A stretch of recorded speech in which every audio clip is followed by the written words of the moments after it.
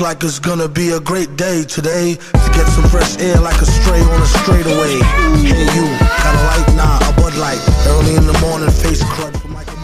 Alright, so to do the recoil animation, you're going to uh, need to bring your uh, first person view model out of the ReplicatedStorage. Uh, now, when you animate it, uh, pay close attention on how I do it. Uh, know some people will be like, oh, I don't have a Moon Animator. This tutorial, give me the animations. Well, you can still do it uh, on the built-in animator in Roblox, so it's easy. You just have to, just harder to animate, but you can still do it.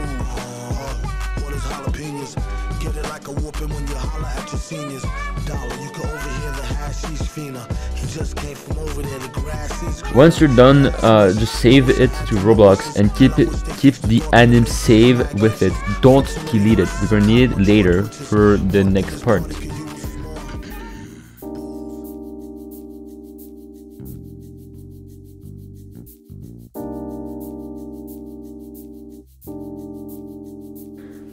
You should then create an animation instance, name it recoil animation, paste the animation ID into it. You are now ready to code. Create function and it recoil animation recoil anim. We then filter which view model we animate depending on if the player is in first person or not. I feel like I've been saying this sentence a lot, so just bear with me.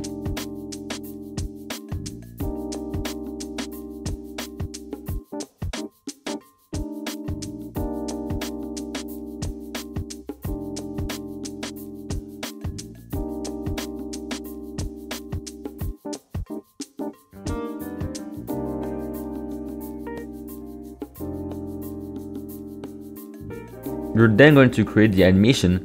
This is all basic stuff, so I don't think I should explain it.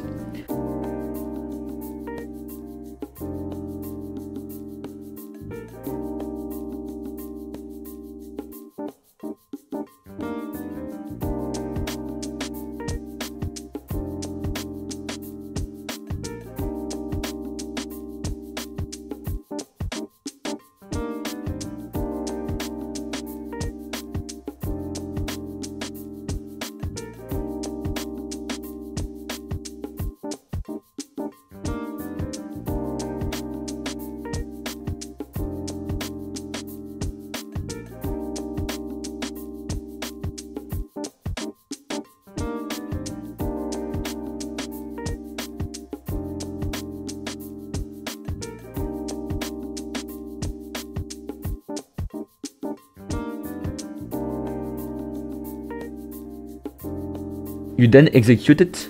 Make sure the recoil animation goes before the camera recoil, otherwise there's gonna be a huge delay uh, on the animation recoil.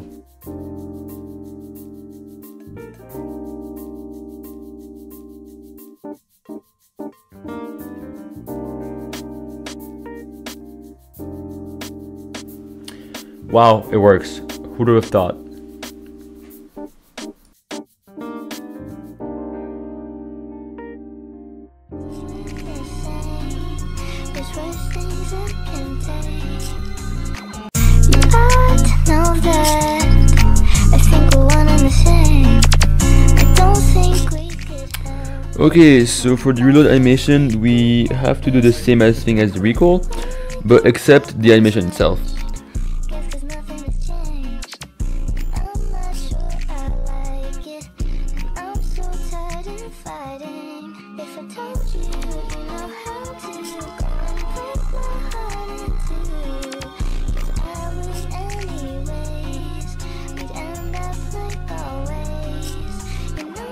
This is this one is a bit more tricky though, so just follow what I do step by step.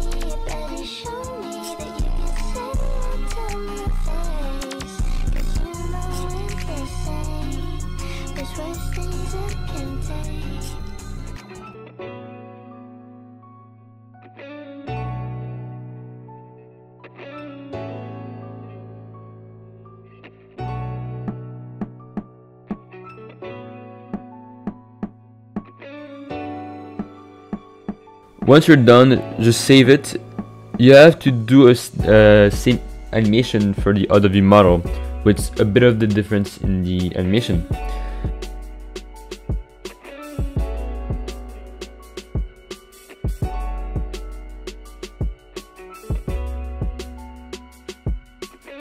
Bring the anim save into the third person view model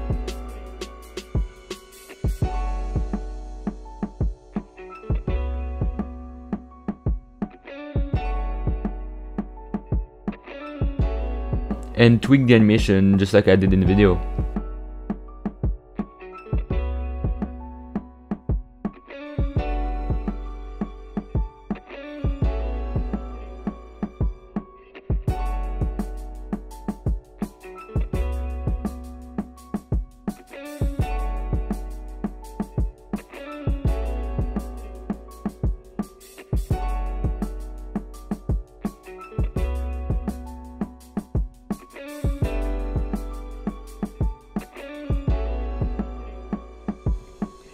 When all that is done, save both on Roblox with different names.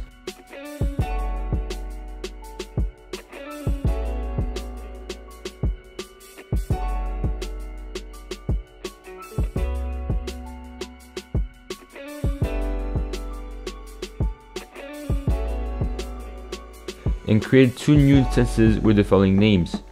Paste each ID in the respective animation.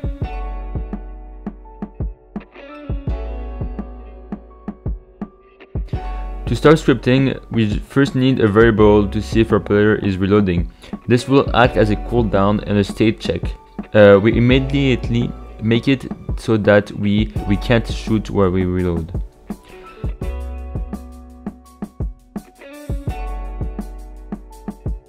Then we create the actual reloading function. For now, just like the recoil, we just play the animation.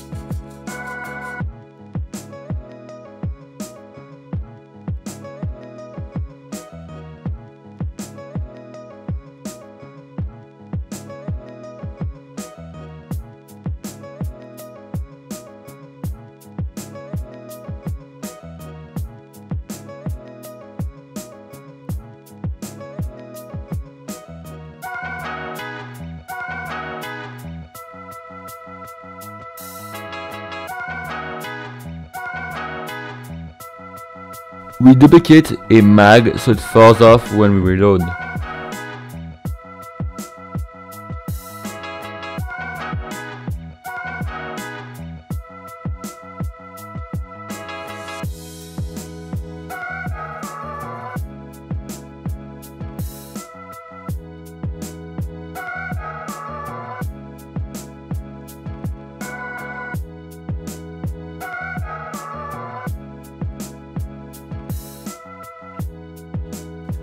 And it works perfectly.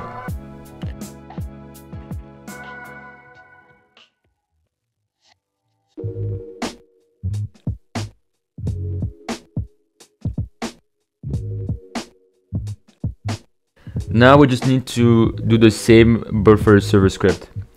To do that, we have to modify the fire server of the shoot event. So press Ctrl F to search it, search it, and once you modify like I did,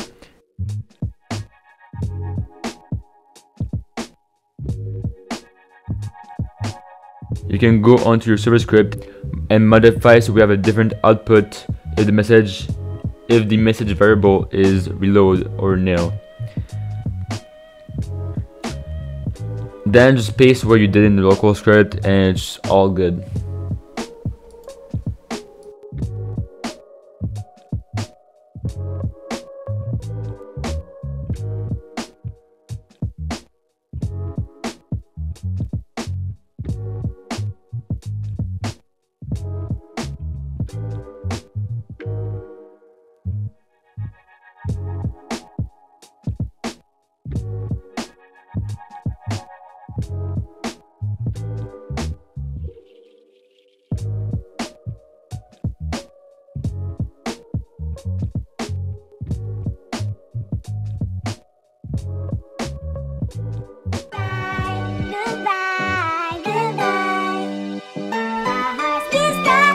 After editing, I realized I forgot to make the silver part for the recoil anim.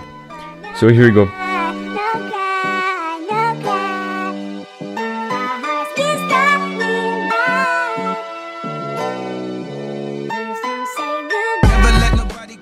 Alright, this is the end of the video. I feel like I didn't say much, and I apologize for that because my PC had a lot of issues re recently, and recording has been a mess.